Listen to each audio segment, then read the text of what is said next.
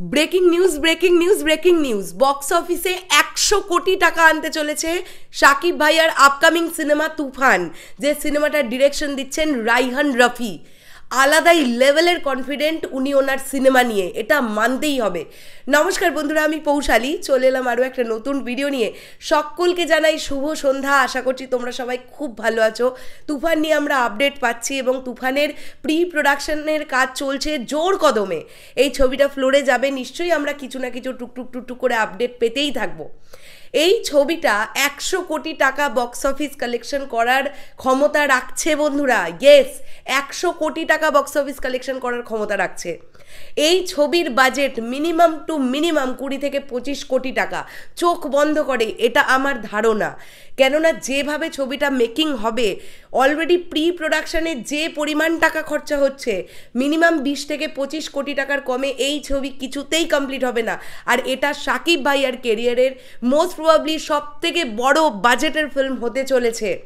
এই ছবিটা একশো কোটি টাকার বক্স অফিস কালেকশন আনবার ক্ষমতা রাখছে। এবং ডিরেক্টর রাইহান রফি, পরিচালক রাইহান রফি, তিনি তার ছবিকে নিয়ে প্রচণ্ড কনফিডেন্ট এটা আমরা বুঝতে পারছি।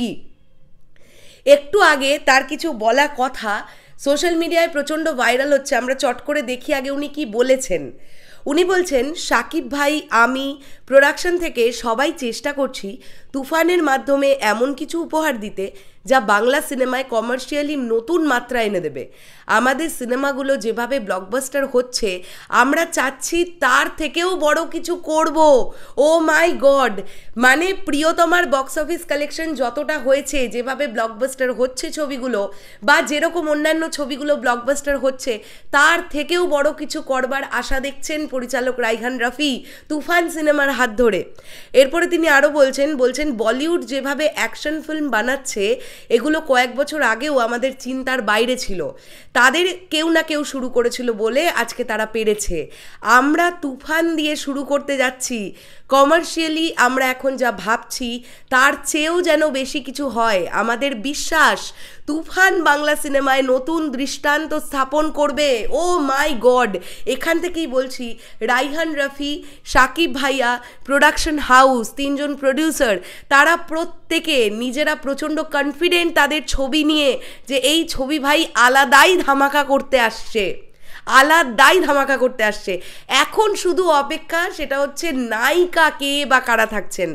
রাইহান রফি সাহেব জানিয়েছিলেন যে একজন নয়, দুজন নায়িকা থাকবেন এই ছবিতে। তারা কে হতে পারে? অনেক রকম কমেন্ট অনেকের নায়ক অনেক নায়িকার নাম কমেন্টে তোমরা লিখছো, সাকিবিয়ান ভাইরা বোনেরা। আসলে কি তাদের মধ্যে কেউ থাকবে? নাকি কমপ্লিটলি অন্য কেউ থাকতে চলেছে, সেটা জানার জন্য আমরা ভীষণভাবে উদ্গ্রীব। এই ছবিটা এই ছবিটা হতে পারে বাংলাদেশের সর্বোচ্চ বক্স অফিস রেকর্ড করা প্রিয়তমা ছবিরও বক্স অফিস কালেকশনকে ব্রেক করে এই ছবিটা আরও আরও বেশি দূর এগিয়ে যেতে পারে। এই বিশ্বাস কিন্তু টিমের মধ্যে আছে। যেটাই হোক না কেন আলটিমেটলি সাকিব ভাইয়ার ছবি, একের পর এক তিনি রেকর্ড ক্রিয়েট করছেন।